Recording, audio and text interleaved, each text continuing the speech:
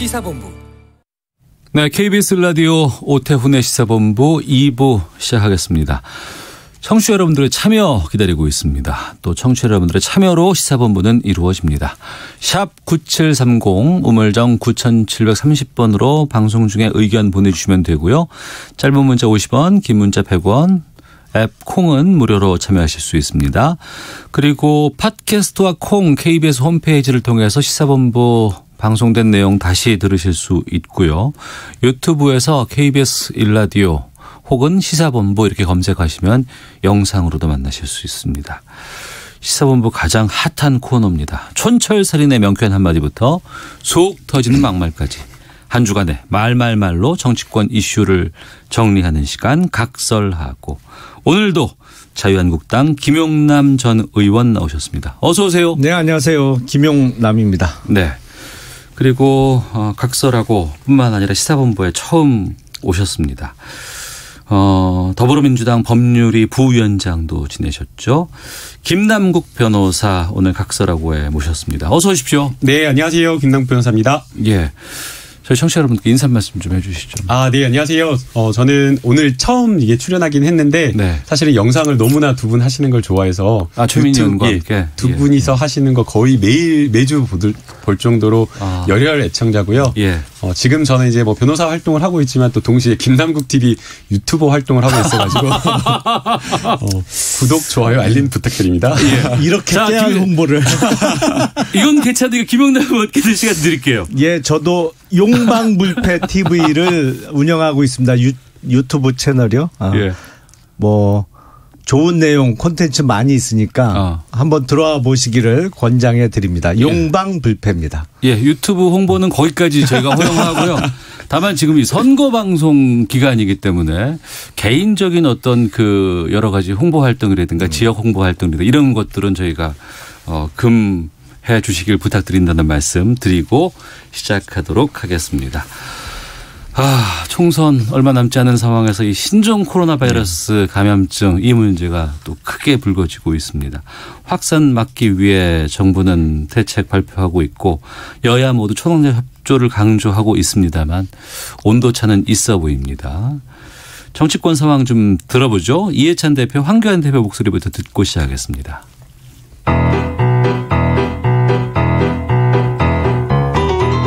안전에는 여해가 따로 없습니다. 상임위 등을 통해 국민 불안을 진정시키는데 야당이 적극적으로 협조해 주시기 바랍니다. 중국인 입국 금지 총원자가 삽시간에 50만 명이나 돌파한 사실을 정부는 무겁게 받아들여야 할 것입니다. 네. 총선에 이게 큰 영향을 끼치는 하나의 변수로 작용하기 작용하게 됐습니다. 뭐 정비 정부의 위기 관리 능력에 대한 평가도 있을 것이고 또 국민 안전과 관련된 여러 가지 발표들도 나올 것 같고 어떻게 대응할 것이냐 여기에 대한 대책들도 계속 나오고 있는데 여기에 대해서 두 분께 좀 의견 듣도록 하겠습니다. 김영남 의원께서 먼저 말씀해 주시죠. 우선 정부의 메시지, 특히 문재인 대통령의 메시지가 우왕좌왕합니다. 어. 이게 하루 걸러 한 번씩 바뀌어요. 네. 그러니까 26일 날은 과도한 불안감을 갖지 말아야 한다. 이런 메시지가 나왔거든요. 네. 근데 하루 쉬고 28일 날 국립중앙의료원을 방문했을 때는 과할 정도로 대처해야 된다. 조치해야 된다. 이렇게 막 말씀을 또 하셨어요. 네. 그런데 29일 하루 쉬고 또 오늘 관계장관 회의에서는 과도한 불안감에 맞서야 한다. 음. 이게 메시지가 오락가락이에요. 네. 좌충우돌하고 있어요. 음. 그러니까 이게 지금 정부에 대한 신뢰가 가장 높아야 될 대통령의 입에서 직접 나오는 메시지 자- 자체가 하루 건너 하루 한 번씩 바뀌어요. 네. 이러니까 국민의 불안감이 커지는 거죠. 음. 이게 모 언론에서도 김용남 의원님 같은 그런 지적을 하더라고요. 그런데 예. 오히려 아, 그것은? 언론이 잘못된 어떤 것을 부추기고 있다라고 생각이 들어요. 어. 오히려 대통령의 메시지는 일관되고 오히려 필요한 메시지를 던지고 있는데 네. 엉뚱하게 말도 안 되는 좀 억지 논리를 갖다 붙이는 것 같다는 생각이 드는데요. 어떤 논리가 과도하게 불안감을. 음. 갖지 말라라고 이야기를 한 것은 국민들에게 이야기를 한 겁니다. 네. 가짜 뉴스가 SNS와 유튜브 이런 곳으로 퍼져가지고 뭐 그냥 손을 닿지 않아도 전염된다라는 이야기라든가 아니면 치사율이 매우 높아가지고 매우 심각하다라는 거는 중국의 어떤 현지 상황과 관련되어서도 잘못된 어떤 그런 가짜 뉴스들이 퍼지고 있는 그런 상황에서 네. 국민들을 안심시키기 위해서 과도한 불안감 그렇게 불안해할 필요 없다라고 이야기를 한 것으로 보이고요. 이것은 당연히 정부로서 정말 이 감염병과 관련된 책임 있는 어떤 대책을 수행해야 되는 그런 정부 그리고 대통령으로서는 당연히 해야 될 말이고요. 네. 28일 날 했던 이야기는 중앙 국립중앙의료원에 가서 의료진 그 대책을 수립하는 담당자 공무원들을 대상으로 해서 어떠한 정책을 어떤 마음가짐으로 수립해야 되느냐라는 부분에 대해서 당연히 과도하, 과도하다고 하더라도 선제적인 정책을 펴야 된다라고 이야기를 한 건 너무나 메시지 맞다라고 보이고요. 네. 그래서 오히려 이것을 그 장소와 시기 그 듣는 대상 화자가 다른데 음. 그것을 막 오락가락 한다라고 이야기를 하면서 이거 문제 지적하는 것은 오히려 좀 지금 위기 국면에 적절하지는 않은 것 같아요. 김영남 그러니까 이 의원님. 정부는 뭐 뭐가 잘못되면 무조건 언론 탓, 남 아. 탓하는 데는 아주 선수예요. 세계 챔피언급인데 아, 지금 우한에 있는 우리 교민을 전 세계를 띄워서 데려오기로 했죠. 예. 그것도 중간에 번복되는 소동이 있었어요. 그리고 뭐 어제 밤늦게 중국으로부터 한 대만 허락을 받았다고 합니다. 근데 문제는 또 어, 교민을 데리고 와서 격리 약 2주 정도는 격리를 해야 되는데 처음에 또 천안에 있는 우정공무원연수원으로 발표를 했었어요. 예. 근데 이걸 또 무슨 이유인지 납득할 수 없는 경위로 번복을 해서 지금 아산 진천에 격리 수용을 하겠다고 해요. 예. 그 납득할 만한 이유에 대한 설명이 전혀 없거든요. 음. 다만 미루어 짐작해 보면 네. 공교롭게 천안에 있는 국회의원 세명은 모두 지금 여당 소속이에요. 음. 더불어민주당 소속이고 더군다나 거기 천안시장이 당선 무효형을 선고받아서 이번 4.15 총선에 천안시장 재선거도 같이 치러집니다. 네. 그러니까 선거판이 커요. 그쪽은. 음. 근데 아산하고 진천은 또 공교롭게 또 현역 의원들은 다 자유한국당 소속이에요. 네. 그러니까 이게 지금 이 아주 정치 내지는 선거에만 몰두하고 있는 지금 집권 여당의 행태에 미뤄 볼때이 네. 선거 때문에 갑자기 뜬금없이 아산 진천으로 옮긴 거 아니냐라는 합리적인 의심을 할 수밖에 없는 상황이죠. 정치적인 판단이 들어간 아니, 그러니까 것으로. 대통령의 메시지도 그렇고 정부의 조치도 그렇고 어. 이게 매일 바뀌어요. 예. 이게 과연 합리적이라고 말할 수 있을지 정말 웃음이 변호사님. 나오는데요. 예.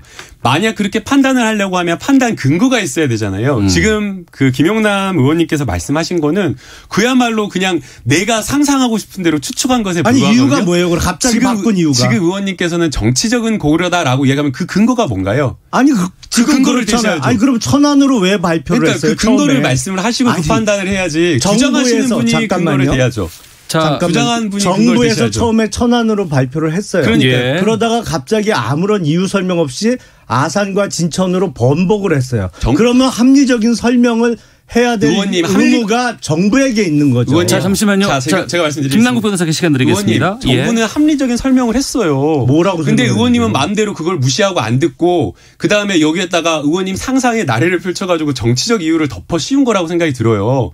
정부에서 이야기를 했을 때에 이 공항과의 거리 그리고 여러 그 수용 시설과 관련된 격리 부분 그다음에 또 1인 시설 1인 시설로서 생활을 해야지 여러 가지 문제가 바- 발생했을 때 거기에 대해서 감염과 관련된 대처를 할 수 있다라는 점 그리고 또 그 지원하는 여러 사람들이 지원할 수 있는 여러 가지 수용 능력이나 이러한 모든 것들을 고려해 가지고 옮길 수밖에 없다라고 이야기를 했습니다. 자. 그런데 왜 그것을 듣지 않고 그것은 그대로 무시한 채로 음. 그 당시 선거와 관련된 정치적인 근거가 전혀 되지도 제가 않는데 하나하나 아무런 깨줄게요. 잠깐만요. 그걸 이야기하시는 게 공항과의 거리가 않죠. 잠깐만요.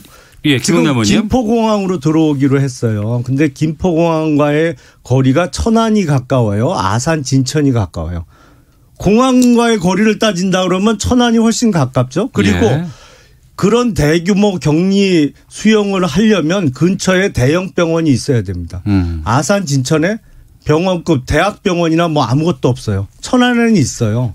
그러니까 정부에서 설명하는 게 하나도 맞지 않아요. 팩트하고. 아, 설명이 확실치 않다. 아니 안 맞아요. 기본적으로 아. 사실관계하고. 그렇지 예. 않고요. 김영- 의원님은 아, 지금 예. 전문가가 아니신데 거기에 대해서 의원님이 판단하시는 그 기준만으로 생각해서는 안 된다고 생각이 들고요. 아산 진천에 대형 병원 있어요? 그러니까 의원님은 그것만 생각하시는데 아, 병원 그것만 고려하는 게. 아니라고요. 자, 잠시만요. 김남국 의원님만 말씀 생- 듣고 의원님이 하겠습니다. 생- 내가 예. 생각하는 게 옳다라고 하면서 내가 하는 대로 가야 되는 거 그렇게 비전문가가 할 영역은 아니라고 생각이 됩니다. 김 변호사는 전문가인가요? 제가 그러면? 전문가가 아니기 때문에 정부의 결정을 존중하는 거죠. 네. 의원님께서 지금 지적하신 정치적 고려 때문에 옮겨갔다라고 하는 것은 아무 근거가 없는 거예요. 왜 근거가 없어요? 근거가 무슨 근거가 있습니까? 아니 말씀해보세요. 4.15 총선 때 천안시장 재선거 해요 안 그러니까 해요? 그거는 의원님이? 생각하는 일단- 정치적인 그 일단 마음대로? 생각한 거잖아요. 그건 선거가 있다라는 거지. 대답을. 아니, 그러니까 그게 근거가 돼요, 의원님? 아, 오늘 방송 참 힘든데요 이거. 아니, 힘든 게 아니라 저도 진행이 좀 힘들 것 같아서 아니, 지금 마음을 먹고 있습니다. 예, 참. 예.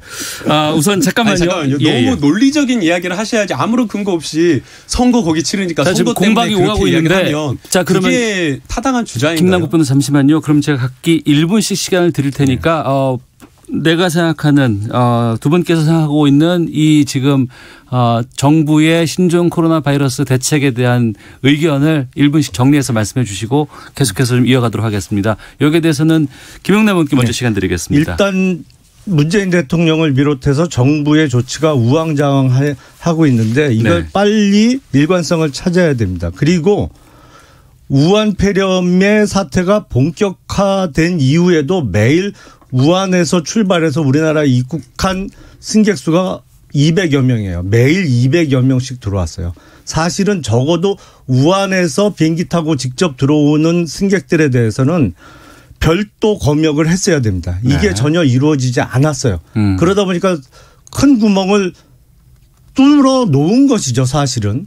그리고 나서 지금 정보도 정확하지 않고 네. 무조건 이 문재인 정부는 자신들에게 불리하면 가짜 뉴스라고 뒤집어 씌우는데 음. 사실은 가짜 뉴스를 가장 많이 생산해 내고 있는 건 이 정부예요, 사실은. 이거에 대해서는 정부가 더 이상 좌충우돌해서는 안 되고 알겠습니다. 정치적인 고려를 해서는. 안 됩니다. 예, 김남국 변호사님. 네, 이 감염과 관련된 국민의 생명이라든가 안전과 관련된 부분에 있어서는 정말 여야가 없어야 되고 여기에 대해서 가짜 뉴스를 생산해서는 안 된다라고 생각이 드는데요. 지금 전 세계와 관련되어서도 마치 정부가 그것을 우왕좌왕 해가지고 안 되는 것처럼 이야기를 하셨지만 그것도 사실이 아니고요. 우리나라뿐만 아니라 영국 전세기도 뜨려고 했다가 제 시간에 뜨지 못한 그런 사정이 있어서 중국에서 허가를 못한 그런 사정이 있는 거고요. 또 지금 이 중수본에서 발표를 한 임시 생활 숙소와 관련된 격리 시설과 관련되어서도 사실은 민간 시설에서 이걸 제공할 것이 없기 때문에 국가가 가지고 있는 국가 시설로 운영하는 교육원이라든가 연수원이라든가 이런 것들을 사용할 수밖에 없습니다. 근데 거기에 대해서 위치를 바꾼 것 가지고 아무런 근거 없이 정치적 선거 치르려고 그렇게 했다라고 주장을 하는 것은 이것이야말로 저는 가짜 뉴스라고 생각이 들고요. 지금 국가 시설로 운영하는 여러 가지 연수원과 교육 시설 중에서 수용 능력 그리고 네, 또 마무리해 주시고요. 그 가지고 그 인근 지역의 뭐 여러 가지 위치라든가 공항에서의 거리 그리고 지역과 관련된. 여러 가지 예. 여- 여러 가지 요소를 종합적으로 고려할 수밖에 없기 때문에 이것을 가지고 가짜 뉴스를 생산하는데 정부를 공격하는데 해서는 안 된다고 저는 생각합니다. 알겠습니다. 자, 각설하고 오늘 자유한국당 김영남 전 의원, 김남국 전 더불어민주당 법률위 부위원장과 함께 하고 있습니다. 아, 각 당내 상황들 좀 살펴보도록 하겠습니다. 더불어민주당이 현역 의원 평가 하위 20% 당사자에 대한 개별 통보를 모두 마쳤습니다. 어, 이 결과가 공개될 것이냐 안 될 것이냐 이것도 궁금했었고 또 이 결과에 통보 결과에 따라서 좀 반발이 있지 않을까 여기에 대해서 관심이 좀 있었는데 현재로서는 뭐 큰 반발이 나오는 건 아닌 것 같은데 김남국 변호사께서 좀 말씀해 주시죠 어떻습니까 지금 상황이? 네, 지금 현재는 공천과 관련되어서 잡음은 거의 나오지 않고 있는 그런 상황이고요. 예. 여러 가지 이유가 있겠지만 아마 공천 룰과 관련되어서 음. 전당원 투표를 거쳐 가지고 이미 거의 1년 전에 확정을 한 점이 매우 주요하게 작용을 했던 것으로 보입니다. 예. 네, 서로 간에 자신에게 맞는 유리한 어떤 공천 룰을 만들기 위해서 그 과정에서 개파 간의 갈등이라든가 음. 아니면 또 당 지도부가 자기가 원하는 친한 어떤 사람들이라든가 당뭐 계보에 가치 있는 사람들을 당선시키기 위해서 공천하기 위해서 굉장히 이제 이 경선 룰을 막 고무줄처럼 막 이렇게 바꾼 그런 경우가 많았었는데 네. 이번에는 그런 부분에 있어서 공정성과 객관성을 미리 확보했다라고 생각이 들고요. 음. 하위 20%와 관련되어서도 어, 여러 가지 어떤 객관적인 기준에 대해서 미리 고지를 해가지고 의원들이 이 평가에 해당되지 않도록 의정 활동을 열심히 할 수 있도록 이러한 예고를 한 점, 그러한 점들이 어, 반영이 되어서 어, 여러 가지 지금 하위 20%와 관련된 내용이 결정이 되었다라고 하는데도 거기에 대한 반발이나 이런 게 좀 적지 않나 생각이 듭니다. 네. 현역 의원에게 하위 20%에게 통보가 갔으면 이분들 중에서는 출마하려고 계획했다가 아유 나 이거 여기 대상되니까 그냥 못 나가겠네라고 그냥 접는 분들도 계시지 않을까요? 어떻습니까? 그런 분들 거의 없을 것 같은데요. 아, 지금 그래요? 반발이 왜 안 나오냐면 예. 이게 비공개로 본인 본인한테만 통보를 해준 거잖아요. 예, 예. 여기에 반발하는 순간에 내가 하위 20%에 들어갔다라고 광고하는 꼴밖에 안 되잖아요. 아, 그럴 수 있죠. 그러니까 예, 당연히 공개적으로는 반발이 전혀 안 나오는 거예요. 그리고 이게 제가 보기엔 결과적으로는 최종적으로는 공개될 가능성이 매우 높습니다. 왜냐하면 예. 통보 받은 의원들이 절대 로 다른 사람한테 얘기 안 해요. 네. 그리고 출마 준비 계속 할 겁니다. 네. 이게 하위 20%에 들면 감점을 받는다는 것이죠. 음. 것이잖아요. 그러니까 예, 예. 아예 컷오프돼서 어. 출마를 못하는 거 아니고 경선을 하게 되는 경우에 감점 요인이에요. 네. 그러니까 끝까지 소- 감, 어, 감추고 음. 그냥 선거 준비 계속 할 거예요. 근데 어디서 이게 유출될 수 있을까요? 이게 당에서 그러다 보면 음. 현역하고 그 비현역하고 붙으면 예, 예. 아무리 현역이 감점을 받아도요. 현역이 이길 가능성이 높아요. 물론 어, 지역에 따라 지명도라든가. 여러 가지 아, 그럼요. 뭐. 인지도에서 어. 그 싸움이 안 되거든요. 예, 예. 그러면 당에서 최종적으로는 아 이게 하위 20%로 개별 통보까지 했는데 음. 출마를 계속해 나가고 결국엔 또 경선 붙으면 이길 가능성이 높아. 그러면 공개할 가능성이 있다고 저는 생각이 됩니다. 그렇게 되면 어떤 면에서는 챙피를 줘서 음. 그냥 중간에 접게 만드는 그래서 아, 자르고 싶었던 현역을 잘라버리는 그러기 위해서는 이게 끝까지 비공개를 지키기는 어려울 거예요. 네. 당에서 끝까지 비공개를 지키기 어려울 것 같다. 김영남 의원께서는 예측해 주셨는데. 예. 김남국 변호사께서 말씀해 주세요. 네, 당에서는 이제 뭐 물론 이제 선거라고 하는 게 굉장히 뭐 선거를 앞두고 여러 가, 여러 가지 요소에 의해서 시시각각 변하기 때문에 장담할 수는 없겠지만 그러나 공개를 하지 않겠다라고 당에서 이렇게 당 대표를 뿐만 뿐만 아니라 어 최고위원회에서 결정을 했기 때문에 공개가 되지 않을 것으로 보이고요. 예. 또 이게 그냥 단순하게 이 공천과 관련된 부분이 음. 어, 당 대표가 자주유지할 수 있는 게 아니고 시스템 공천이라고 해서 공천관리위원이 이 적극 개입하고 있는 그런 상황이기 때문에 음. 어, 공개가 되는 일은 좀 거의 없지 않을까라는 생각이 듭니다. 하위 20% 통보 이것을 시작으로 좀 본격적인 경선 레이스라든가 공천 작업이 진행됐다고 민주당 쪽에서는 지금 시작됐다고 볼 수밖에 없는데 자유한국당 쪽에서는 선언은 있었습니다. 50% 물갈이라든가 네. 뭐 30%를 젊은 인재에게 주겠다라고 하는 발표들이 있었는데 구체적인 흐름 같은 것들은 전혀 지금 아직 보이질 않고 있는데요. 자유한국당은 조금 더 복잡하죠. 어. 왜냐하면 이게 자유한국당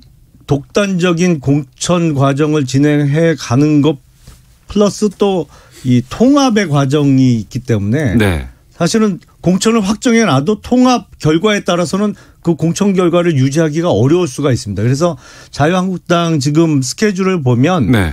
적어도 2월 중순 전까지는 통합 여부를 완료를 하고 음. 그리고 2월 중순부터 3월 중순까지 그러니까 한 달 정도를 이제 공천을 진행하기로 했거든요. 네. 그래서 최종적으로는 3월 중순.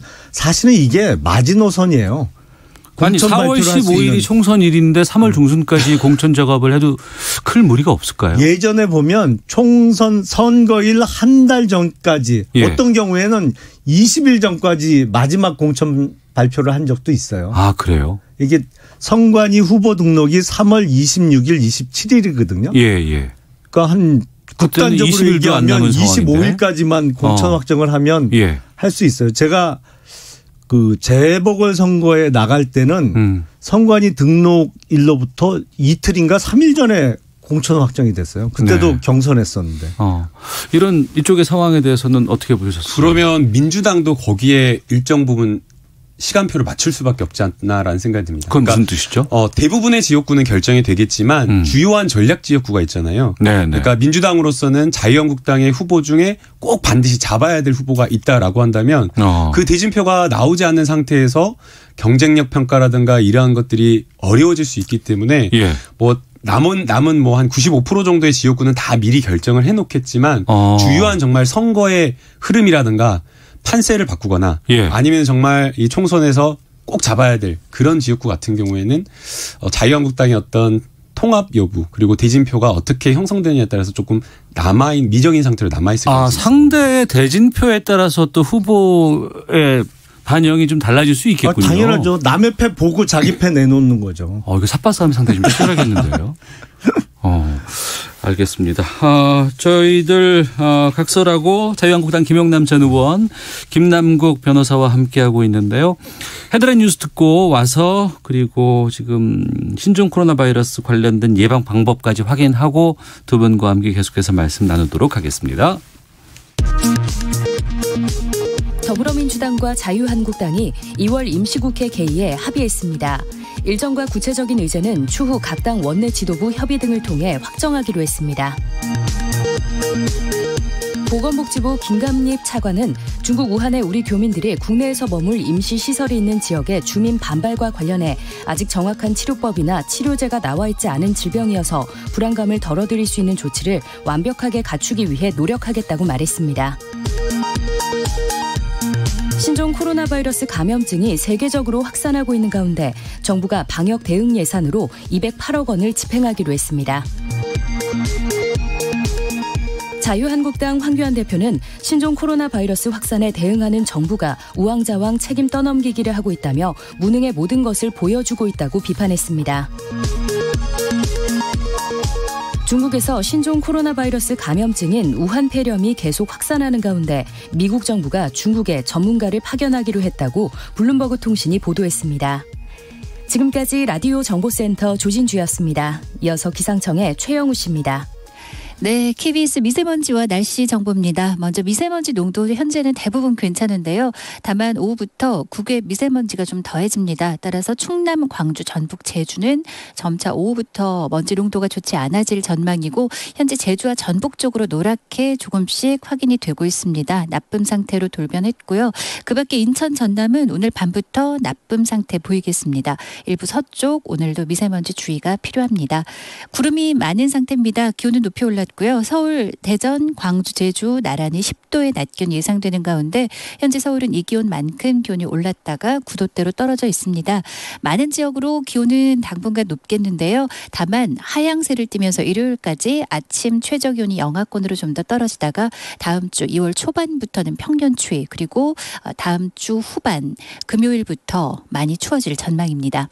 한편 강원 영동과 경북 북부는 현재 가끔 비나 눈 예보가 들어 있고 지금 강원 영동으로 대설특보가 내려진 곳이 상당히 많습니다. 제주도도 지금 비나 눈이 오고 있는데 제주 산지로도 대설특보 특히 대설 경보로 강화돼 유지가 돼 있는 상태고요. 그 밖에 일부 남부 내륙도 오늘 오후 한때 비나 눈이 조금 지날 것으로 예상됩니다. 한편 내일 아침부터 낮 사이에는 서쪽 지방 중심으로 빗방울이 좀 떨어지거나 눈이 날릴 수 있겠습니다. 특히 오늘 강원 영동으로 3에서 최고 10cm의 눈이 더 내려 쌓일 수 있기 때문에 대설에 대한 대비 계속 유지를 하셔야 되겠습니다. 현재 서울 기온 9.2도입니다. KBS 날씨 정보였고요. 이 시각 교통 상황 연결합니다. KBS 교통정보센터 공인혜 씨가 정리해 드립니다. 네, 이 시각 교통정보입니다. 고속도로 수월한 곳 대부분이지만요. 영동고속도로는 새마을에서 강릉 사이가 눈길입니다. 마음은 급할지 몰라도 가장 중요한 것 안전입니다. 전자석 안전띠 착용 부탁드리고요. 천천히 안전하게 운행하셔야겠습니다. 중부 내륙고속도로 창원 쪽 괴산 휴게소 부근 1차로에서 여전히 작업이 진행되면서 여전히 5km 구간이 막혀 있고요. 서울 외곽고속도로 판교에서 구리 쪽 토평 진입로에서는 낙하물인 철제류를 치우고 있습니다. 조심 운행하셔야겠습니다. 계속해서 일산에서 판교 구간은 서운 분기점과 장수에서 송내 쪽으로 가는 양방향으로 차들이 밀려 있고요. 서울 시내는 동부간선도로 성수대교 방향입니다. 수락 지하차도부터 고장난 차 서 있었던 녹천교 쪽으로 밀리고 성동교 아래 4차로에서는 승용차 관련 사고도 발생하면서 군자교부터 지체 서행합니다. 올림픽대로 공항 쪽 한강대교 부근 5차로에서도 사고 처리하고 있고요. 부근으로 속도 떨어져 있습니다. KBS 교통정보센터였습니다. 신종 코로나 바이러스 감염증이 중국에서 급격히 확산되고 있고 국내에도 확진 환자가 발생했습니다. 이에 감염병 위기 경보가 경계 단계로 상향됨에 따라 국민 여러분의 각별한 주의가 필요합니다. 중국으로부터 입국한 뒤 발열 및 호흡기 증상이 발생하는 경우에는 의료기관 방문 전에 반드시 관할 보건소나 지역 콜센터, 지역번호 120번 또는 국번 없이 1339에 연락하여 상담을 먼저 받아주시기 바랍니다. 또 의료기관을 방문할 경우 꼭 마스크를 착용해 주시고 여행력을 의료진에게 자세히 말씀해 주십시오. 신종 코로나 바이러스 감염증을 예방하기 위해서는 외출 시 마스크를 착용하고 30초 이상 자주 손을 씻고 기침할 땐 옷소매로 입과 코를 가려야 합니다. 신종 코로나 바이러스 감염증 예방 KBS 라디오가 함께합니다.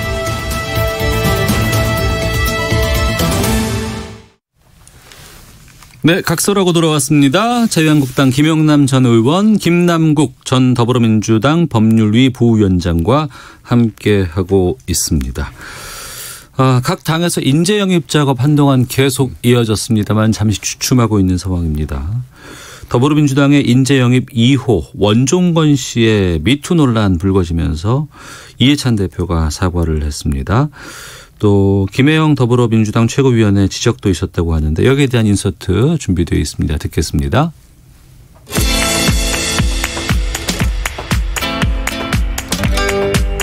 국민과 당원께 심려를 끼친 점을 송구하게 생각을 합니다. 당에서 좀 더 철저히 조사를 하도록 하겠습니다. 영입 인재에만 스포트라이트가 모아지고 공천에서 혜택을 받을 경우 자칫 그동안 당내에서 열심히 준비해온 이들의 기회는 줄어들 수밖에 없습니다. 네, 정치권 인재 영입에 대해서 여러 이야기들 나오고 있습니다. 인재 영입이 관심을 끌기 위해서는 좀 참신성도 있어야 되고, 어 이런 인물들을 기용을 하네라는 또 스타성도 있어야 될 것 같고, 또 많은 관심을 끌 수 있는 것들이 필요한데 그러다 보니까 좀 너무 선거 앞두고 화제 중심으로 인재 영입을 하는 것 아니냐. 또 그것 때문에 지금 생기는 부작용들이 또 드러나는 것 아니냐라는 지적이 있거든요.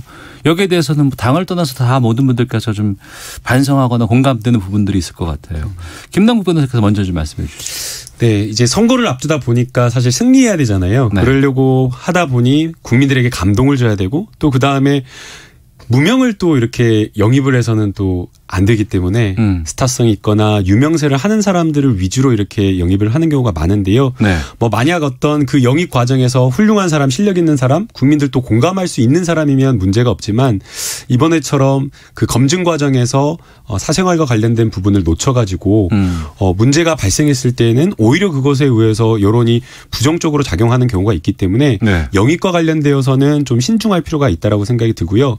뭐 영입을 하는 그 과정을 좀 들여다보면 어 영입의 어떤 대상자와 어, 뭐 여러 가지 협의하는 과정이 노출이 되었을 때 무산이 돼버리기 때문에 뭐 비밀리에 한다고는 하지만 음. 그러나 그 영, 영입 인사에 대해서 국민들도 공감하고 또 동시에 당 내에서 경선을 준비하고 있는 일반 후보자라든지 아니면 또 청년들이 정말 대학생 때부터 대학 위- 대학생 위원회에 들어와 가지고 정치의 꿈을 품고 실력을 쌓는 경우가 많거든요. 그런 친구들에게 실망감을 안겨주지 않도록 하기 위해서 당내의 어떤 공감대도 형성되는 두루두루 여러 가지를 좀 고려한 영입을 해야 되지 않나 생각이 듭니다. 김영남 의원님.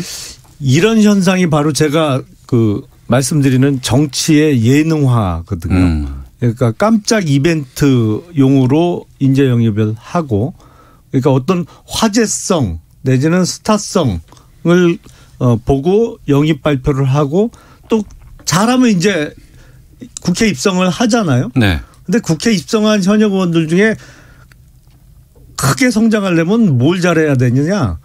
시사 뉴스 프로에 100번 나가는 것보다 예능 프로그램 잘 나가는 게 더 나아요, 솔직히. 음, 관심도 높겠죠. 예. 대중적인 인지도를 높이는 것도 어. 그렇고 어, 어떤 예능 프로그램을 통해서 본질하고는 상관없이 음. 그 방송을 통해서 형성되는 어떤 좋은 이미지 뭐 이런 것들을 갖고 나가면서 큰 선거에서 이기는 경우도 왕왕 있었거든요. 네. 그렇게 이게 사실은 그 제대로 된 검증 절차 없이 정치 입문도 하고 또 입문한 사람이 성장도 해나갈 수 있는 상황이 된 것이죠. 음. 그러니까 이게 일종의 정치인이 엔터테이너 비슷한 상황이 됐어요, 지금. 네. 근데 이게 대중선거로 뽑히는 선거라는 과정을 염두에 두면 완전히 이런 요소를 100% 제거할 수는 없습니다. 음. 뭐 화제성 있는 인물 항상 각 당에서 필요로 하죠. 그런데 이게 조금 지나친 면이 있어요. 최근에는 네. 더군다나. 과연 저 사람이 어, 영입이 돼서 국회에 들어갔을 때 의정 활동을 제대로 할 수 있을까? 그런 어떤 능력의 점검이란 면에서는 그런 거 별로 안 따지는 것 같아요, 요새는. 음. 그냥 화제성만 보고 이게 얼마나 뉴스거리가 될까 이런 것만 생각하고 아, 모든 정당에서 영입 경쟁을 벌이는 것 같아서 이거 항상 경계해야 됩니다. 이런 정치의 예능화는. 이번 그 원정권 씨 같은 경우에는 자유한국당에서도 영입 제안이 간 것으로 지금 보도들 나오고 있는데요. 확인해 주실 수 있으세요? 제가 들은 건 거꾸로인데요. 어떻게 해요? 당에서 먼저 영입 제안을 한 게 아니고 그 예. 반대로 저는 얘기를 들었는데 뭐 제가 아, 그 당사자는 아니라서 예, 예. 어, 정확하게는 확인을 해봐야 되겠습니다. 그 과정에서 거꾸로 들었는데 뭐 뭐. 자유한국당도 영입하려고 했었다라는 그뭐 그 사실 자체가 중요하지 않다라고 보이고요. 예. 이제 중앙일보나 여고 뭐 몇몇 매체에서 보도된 것을 보면 실제 자유한국당도 영입 제안이 있었다라고 음. 이야기 나오고 있고 또 이제 원종건 씨가 회사 그 본인 이베이 코리아인가요?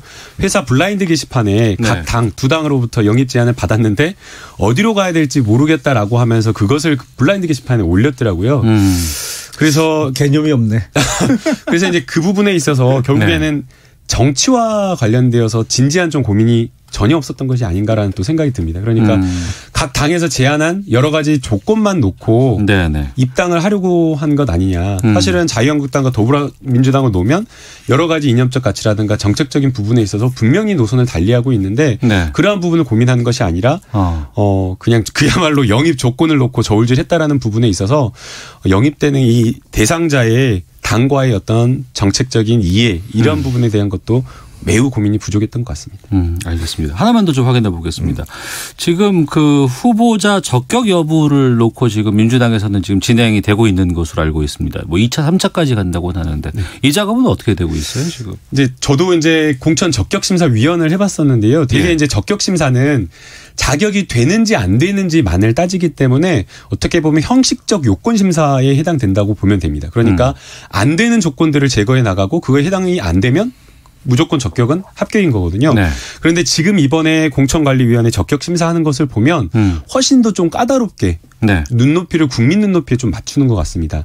실제 여러 가지 요건이나 이런 부분에 있어서 어 공천 적 부적격이다라고 판정할 요건이 들어가 있지 않음에도 불구하고 네. 여러 가지 어떤 부정적인 국민 정서라든가 감정을 고려해서 음. 이런 부분에 대해서 바로 적격 심사를 오케이를 해주지 않고 네. 거기에 대해서 계속 보류하면서 더 고, 민을 거듭하는 이런 모습 자체는 좋다라고 보이고요.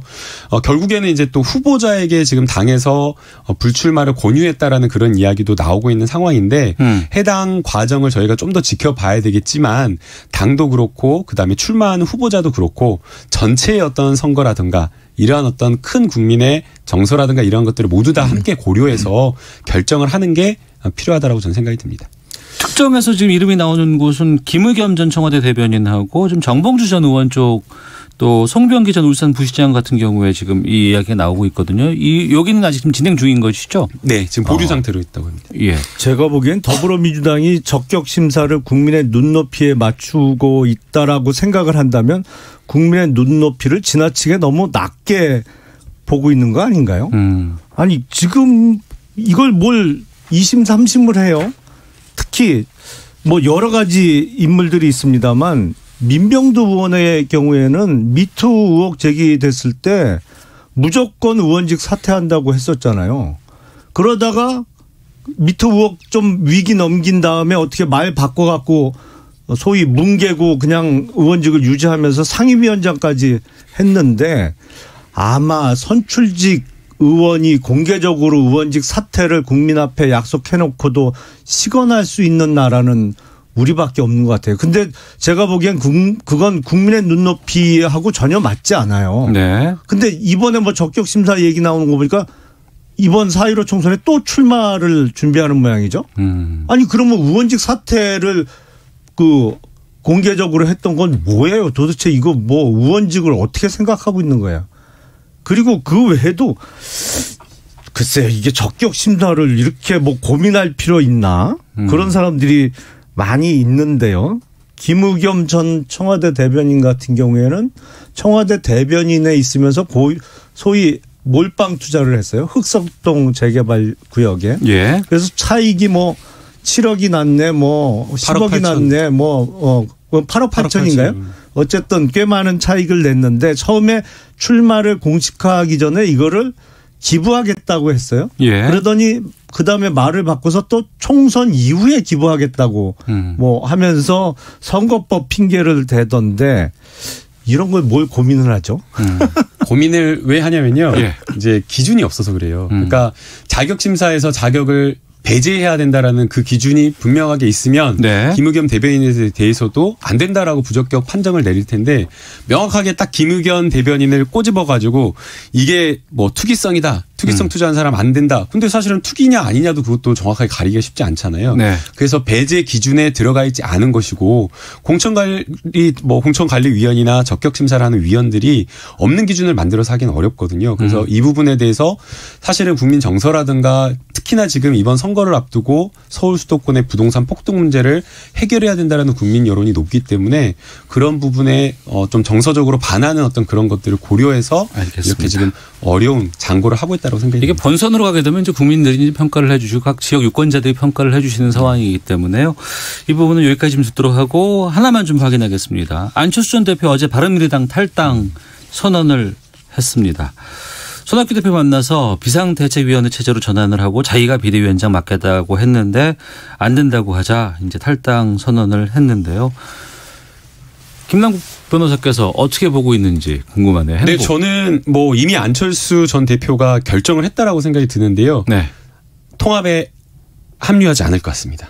아, 안철수 전 대표, 전 의원은 통합, 아, 그러니까 보수 통합 쪽으로 가지 않을 것이다. 네, 왜냐하면 어. 그 안철수 전 대표는 목표가 대선이거든요. 그래서 네. 이번에도 불출마를 한다라고 이야기를 했고, 음. 그런데 만약 이번에 통합을 한다라고 하면 네. 뭐 총선에서는 큰 자유한국당이 승리하는 데 기여는 할 수 있겠지만 음. 그 합류한다고 해서 자유한국당과 통합한 그 보수 통합 연대에서 본인 지분이 늘어나는 게 아니거든요. 네. 그러면 안철수 전 대표 입장에서는 나중에 대선을 생각을 하면 지금 오히려 중도에서 음. 열석 이상의 의석수를 확보한 그 정당의 대표인 상태로 네. 그리고 이 대, 대표의 대선 후보가 되어가지고 보수의 어떤 주자 정해진 어떤 대선 후보와 나중에 단일화하는 그 시나리오가 훨씬 낫지. 음. 지금 보수 통합 그 대열에 합류한다고 하더라도 거기서 그냥 정말 정치 9단 10단이 이런 사람들한테 치여가지고 아무 말도 못하게 될 그럴 가능성이 있는 이 보수 통합 대열에 들어가지 않을 것이다. 그래서 이미 이 부분은 결정한 것이다라고 저는 봅니다. 음, 김영남 의원께서 어떻게 보십니까? 지금 바른미래당을 자신이 사실상 창당해 놓고 탈당을 한 것과 관련해서는 네. 속칭 바지 사장 잘못 안 친 거죠. 뭐. 음. 저럴 줄 몰랐겠죠. 예. 그래서 어- 어떤 면에서는 순진했던 것이고 지금 아, 이번 총선을 앞두고 각 정당별로 지급되는 어, 보조금까지 합치면 바른미래당이 정당 중에 제일 여유가 많아요. 금전적으로.